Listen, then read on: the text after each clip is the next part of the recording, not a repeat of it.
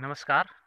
Mushroom farming के लिए कैसे अपने पास उपलब्ध जो सामान है उसको काम में लेकर कम से कम पैसे में झोपड़ी कैसे तैयार करें, खाद कैसे तैयार करें, ये सब चीज़ें मैं कर रहा हूँ और यही सब चीज़ें आपको दिखा रहा हूँ। अब ये देखिए आप, झोपड़ी तैयार करने के लिए मैंने ये जो लकड़ियाँ गाड़ी हुई हैं, ये देखिए ये मैंने अपने बाग में इस तरह से ये मोरिंगा के सहजन के पेड़ लगाए हुए हैं, जो कि मेरे मुर्गों के यहाँ पोल्ट्री फार्म में भी काम आते हैं। हाँ ये देखिए, इनकी कटाई कर दी है मैंने।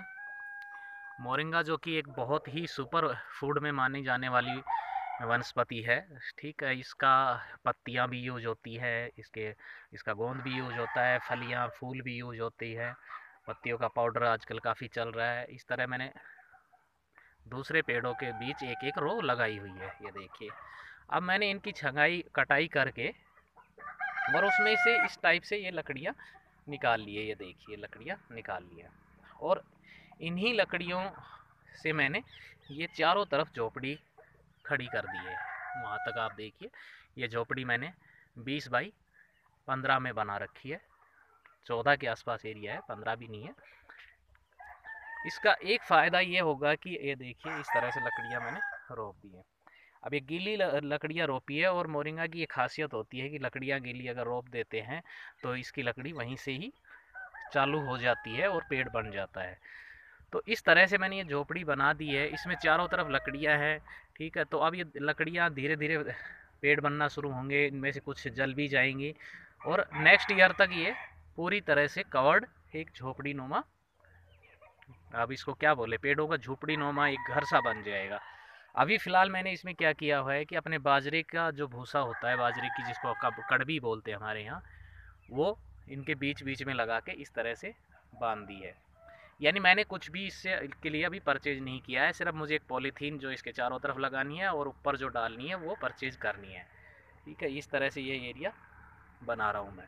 तो मशरूम फ़ार्मिंग के लिए या कोई भी फ़ार्मिंग के लिए आप कम से कम परचेज किए हुए रिसोर्स से, अपने पास उपलब्ध रिसोर्स से ही कैसे सब चीज़ें कर सकते हैं। खाद के लिए मैंने आपको बताया ही है कि गेहूँ का भूसा मेरे पास होता ही है। पोल्ट्री आप देख ही रहे हैं, ये देखिए यहाँ मुर्गी फार्म है ही मेरे पास। तो पोल्ट्री मैन्योर जो है मुर्गियों की बीट है, वो मुझे यहीं से अवेलेबल हो जाती है, मिल जाती है। मुझे कहीं से बाहर नहीं जाना पड़ता। जिप्सम जो है जिप्सम भी मैं अपने यहाँ जैसे खेतों में डालने के लिए लाता रहता हूँ प्लस यूरिया डीएपी जो है वो भी खेतों में डालने के लिए आता रहता है।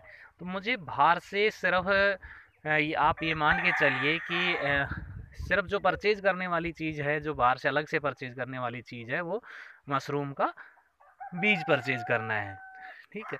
तो इसके अलावा सब चीज़ें मैं अपने पास से ही यहाँ से ही बना रहा हूँ।